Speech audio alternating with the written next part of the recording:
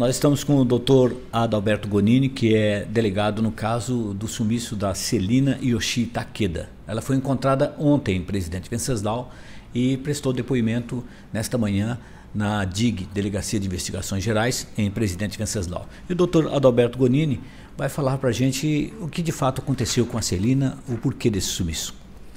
Ô, Toninho, é, foi registrado um boletim de ocorrência no dia 30 de janeiro de desaparecimento da dona Celina. É, os familiares nos disseram que ela estava com a mãe é, adoentada na Santa Casa de Presidente Prudente, é, estava na UTI, é, é, havia sofrido uma queda aqui na residência dela em Venceslau e foi transferida para Presidente Prudente e estava assim, um estado de saúde bem precário.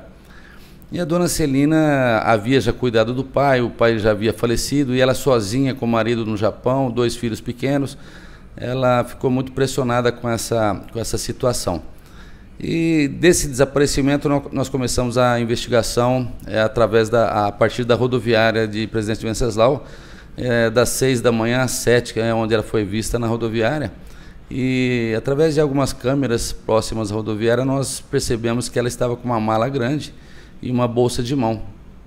É, a princípio, é, teria pego um ônibus para Prudente, mas um dia depois é, soubemos que ela teria sido vista em Presidente Epitácio. Ficamos três dias ali nas, nas adjacências de Epitácio, Caiuá, na área rural, procurando ela, e um viu, outro não viu e o foco seria Prudente. Aí pegamos as imagens dos ônibus, né, de Presidente Prudente, de Venceslau Prudente e Venceslau Epitácio.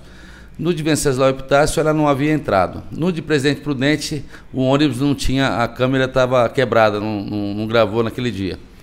E partimos para Presidente Prudente para tentar encontrá-la. E a família ajudando, muitas pessoas aqui de Venceslau, grupos de, de, de dos, da, da, dos meios de comunicações aí sociais, muita, muita, muita divulgação, né?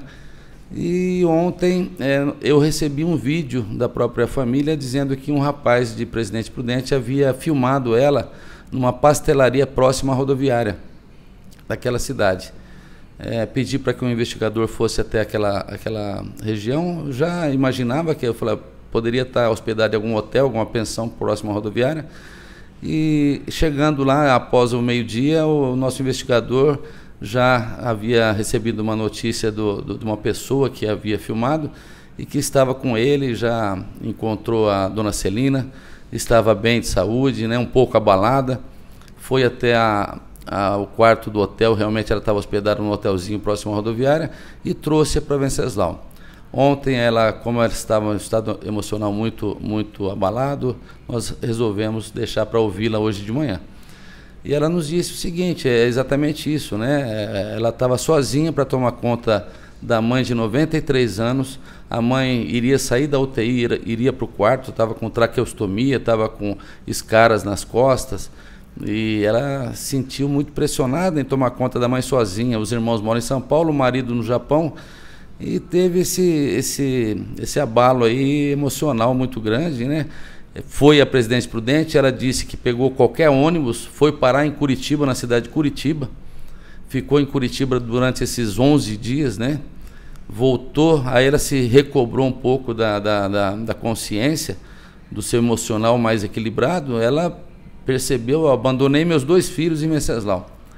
É, um de 14, outro de 15 anos, então ela resolveu voltar. Voltou ontem para Prudente, chegou ontem em Prudente e se hospedou no hotelzinho para descansar e viria para Venceslau.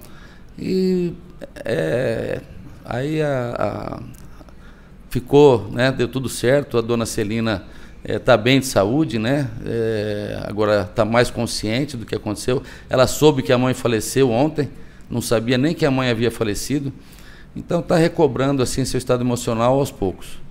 Poderá existir alguma consequência jurídica com esse ato dela? Se, se ela não aparecesse, Toninho, como ela era responsável direta desses filhos, né, poderia caracterizar um crime de abandono material, mas como ela voltou, seu estado emocional muito abalado, né, existe até extinção da punibilidade nesse aspecto, nesse caso aqui foi um simples desaparecimento mesmo, e as consequências jurídicas, é, na minha opinião, não haverá nenhuma. Doutor Adalberto, é, é um alívio, né? Acabar um caso assim, né? É um alívio, porque a gente, a gente vê na, nos noticiários aí diários, né, tantas, tantas pessoas desaparecendo e acabam no final trágico, né, com a morte, com, com o assassinato. Então a dona Celina realmente foi uma, uma grande satisfação para a gente, que desde o começo a gente está empenhado nesse caso, né, de ela voltar com vida né, e com saúde, né, graças a Deus. Obrigado ao doutor Adalberto Gonini, que falou assim sobre o sumiço da senhora Celina Yoshi Takeda, que foi muito acompanhado pelo nosso blog. Obrigado pela entrevista. Obrigado você, Tony.